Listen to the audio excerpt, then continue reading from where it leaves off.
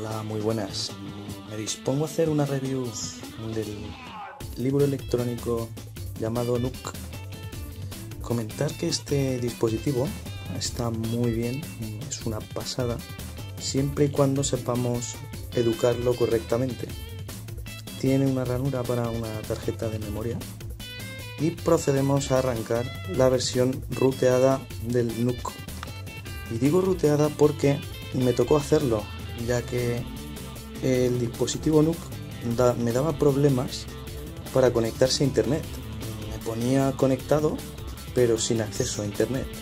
Y para resolver esto, pues lo mejor que pude hacer, es decir, lo único, fue rutearlo y además de que solucioné el problema, conseguí muchas más opciones de las que trae eh, de casa el dispositivo.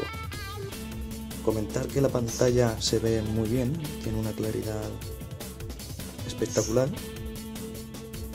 y que aunque le pegue la luz del sol se ve perfectamente. Esto es la pantalla de inicio del Nook cuando está ruteado. Cuando viene de casa no se ve así.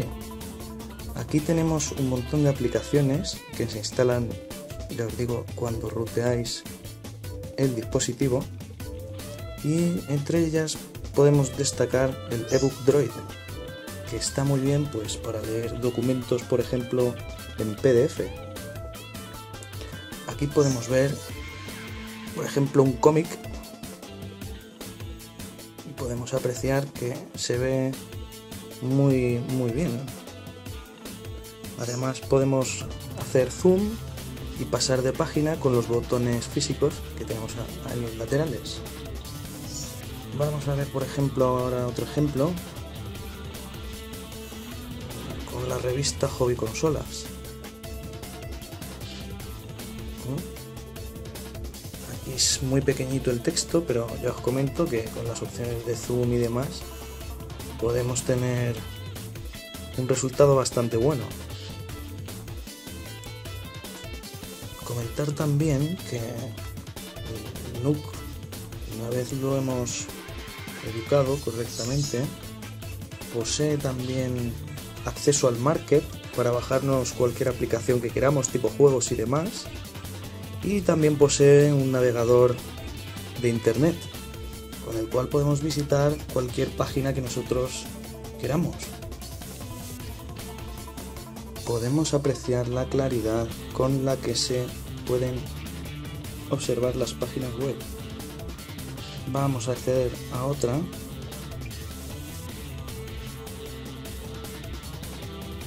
y comentar que lo bueno de estos aparatitos es que nos permiten visualizar las imágenes correctamente aunque le pegue directamente la luz del sol a la pantalla.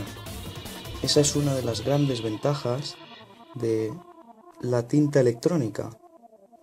También comentar que podemos personalizar para la función asignada a los botones físicos una vez ruteado, como siempre, el dispositivo por medio de una de las aplicaciones llamada Nook Touch Mod Manager.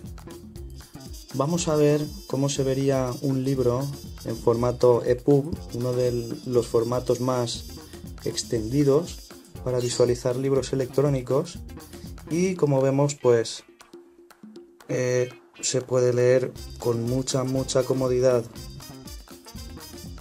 Como comentaba, podemos pasar de página con botón físico o con el típico gesto de arrastre. Y bueno, ya por último, pues comentar que mucha gente se instala juegos tipo Angry Bird y demás, cosa que está muy bien para enseñar a los amigos y tal, pero realmente en este tipo de dispositivos no es muy óptima la visualización. Por ejemplo, aquí tenemos el juego del 3 en raya, que nos puede entretener en algún momento dado.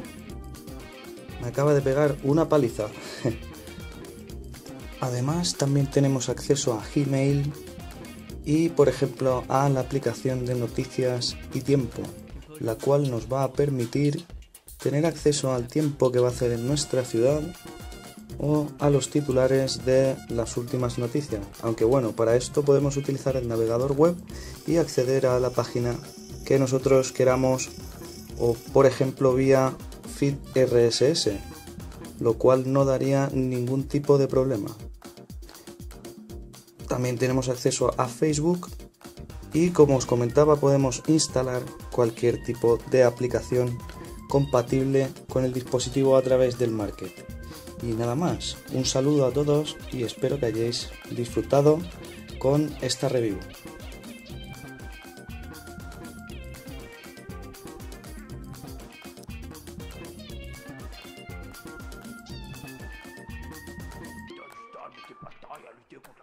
t'es loser un jour, loser toujours. Oublie la dragoune, tes blagues, laisse tomber la flemme et tes jeux de mime, retourne, dis ta.